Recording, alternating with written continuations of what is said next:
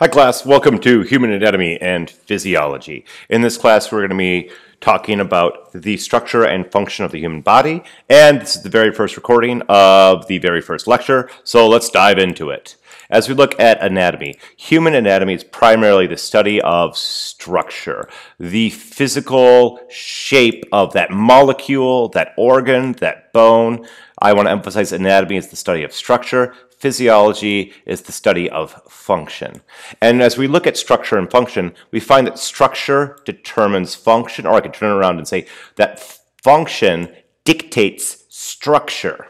So as I look at a hammer, a hammer has a big flat head on it, a long handle, handle and a lot of mass on one end. This means that hammer, the structure of a hammer, makes it very good for pounding a nail into a piece of wood. The structure of a hammer, though, means that it functions very poorly for putting a screw, and here's my picture of a screw, for putting a screw into some wood because all it can do is apply linear force. However, if we look at a screwdriver, and here's a Phillips screwdriver, Phillips screwdrivers uh, have an ideal structure for applying rotational force or torque to a screw to put screws into wood. Screwdrivers make lousy hammers, and I'm willing to bet most of you at some point in your life have grabbed a screwdriver by the shaft and then banged on a nail with a hammer handle of a screwdriver, and it just doesn't work well. Structure determines function. And in our human body, if you look at the structure of a body part, you could have a pretty good guess about what that body part does based on just the shape, the structure, the anatomy of that body part. Now, as we look at the human body and we're examining the human body, we have different ways to gain inf information. First, um, we can inspect the human body, and this is and this is just looking at the human body. And when we say this, these terms, these are all with a medical or clinical intention. So that's the underlying context here. So um, if you're looking at somebody and you're thinking about how they're really attractive looking, that's called oogling them. If you're looking at somebody and you're trying to gain medical information about them by looking at them, that's called inspection. Here's another one. If you feel a human being um, to gain medical information, that is called palpation. Um, and there's different words for feeling human beings that have different connotations, such as um, fondle or touch um, or grope. All of those different words mean to feel a human being, but they have different connotations associated with them. When we say palpate, the connotation is you're feeling a human being and trying to gain that medical information.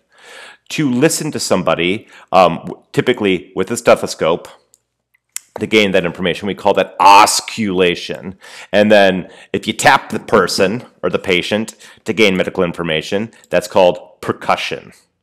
Now, to gain information about human bodies, we can do more than use our to look, listen, feel, and tap. we can also cut apart the human body. And that's where cadaver dissection comes in. And cadaver dissection is an awesome way to learn more about the human body. I've had the pleasure of teaching human anatomy with male and female cadavers. And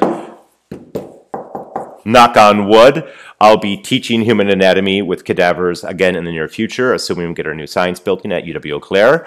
Um, I'm optimistic it'll happen. And when we look at cadaver dissections, this is when we take a human corpse that has been typically preserved mercifully. Back in the day, they didn't preserve them. You had to dissect cadavers while they were fresh because they had about a three day lifespan. So now we have cadavers preserved in alcohol and formalin, and we cut them apart and look at the gross structure of the body. We also could do comparative anatomy, and this is your traditional zoology course, um, where students will dissect a shark, um, a rat, a sea urchin, a starfish. You just cut apart many, many different animals and compare how body parts are similar and different across different species. We also can gain information about the human body with exploratory surgery. And as that name implies, you cut a person open and you just look around to see what you can find. Traditionally, exploratory surgery has been fairly invasive. It involved a scalpel making a rather large incision, um, usually at least an inch long within the human body. Now, exploratory surgery is much more rare because we have medical imaging. And if there is exploratory surgery done, it's with a very small incision and then an endoscope and probe is inserted into the human body. So there's a lot there's a lot less superficial or secondary, I should say, tissue damage to the patient. When we look at medical imaging, we look at the inside of the body without opening up that human body. And as we look at medical imaging, radiology is a branch of medical imaging, or branch of medicine, I should say, that's concerned with that medical imaging. And as we're looking here, we can see a radiograph of a human being. This radiograph is from a coronal or frontal view of a female body, an adult female, and you can see bones and organs.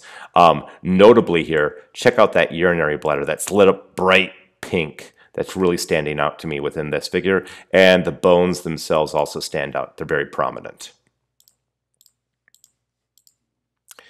Other forms of medical imaging, um, or forms of medical imaging, I should say, include x-rays. And when we think of an x-ray, this is the oldest and most well-established form of medical imaging. Dense tissues are pure white, less dense tissues are black, and this is by far the most common. It's the cheapest, it's the most effective, and um, it's done everywhere. We also can take some radio opaque substances and insert them in the human body. And these radio opaque substances are going to be injected into the human body and then they are going to block the transmission of the electromagnetic waves that we're passing through the human the human body. We typically will inject or swallow these individual or these substances into the human body, and then they fill hollow structures.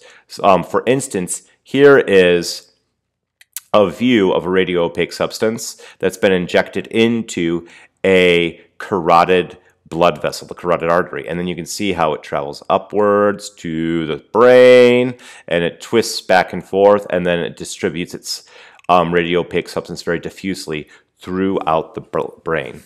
in addition to blood vessels, we oftentimes will use radio opaque substances to view the hollow spaces, the lumen of the intestinal tract. Oh, wrong button. There we go.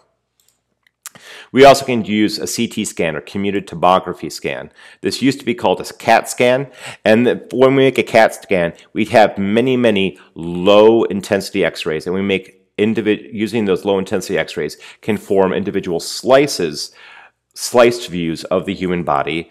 Um, the big catch with the CT scan is that that takes some processing power. Thankfully, computer processing speeds have been increasing. Um, they haven't been increasing quite as fast as they used to over the last five years, but we've been compensating for that with multi-core processors now. But as we look at this, we're able to take all those x-rays and form an idea of what is on the inside of the body in more detail than when we use a traditional single x-ray.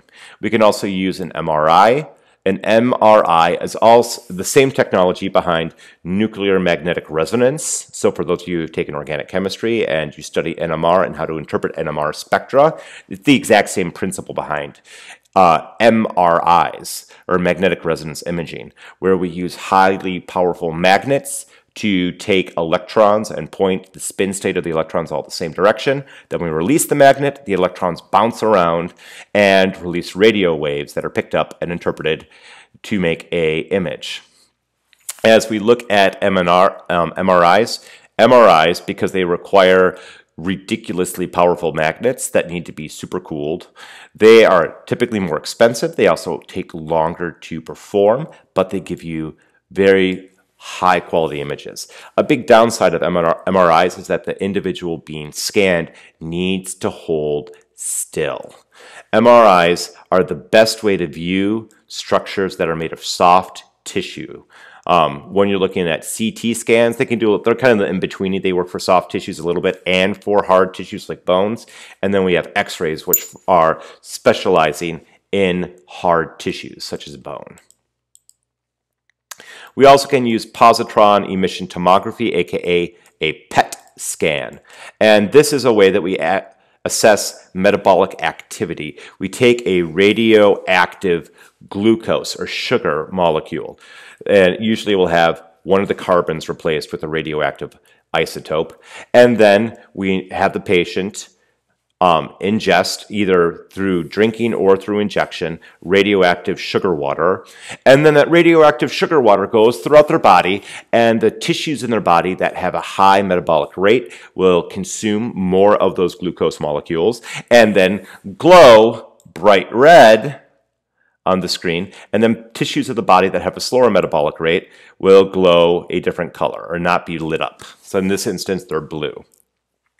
This radioactively, or these PET scans, I should say, are a great way to identify cancerous tumors because the cancerous tumor has a very high metabolic rate because the cells are actively dividing and growing rapidly within them. So for identifying tumors, this is the preferred method. We also can have sonography, aka ultrasounds. Ultrasounds are fairly common. They're the second oldest and second most widely used form of medical imaging. Nearly everyone now has seen an ultrasound of a baby in utero. So the pregnant woman will go in, she'll have her uterus scanned by the ultrasound, and the ultrasound device will send in high frequency sound waves. Those high frequency sound waves are then bounce back to the receiver and will give you an idea of what is happening inside of the soft tissues.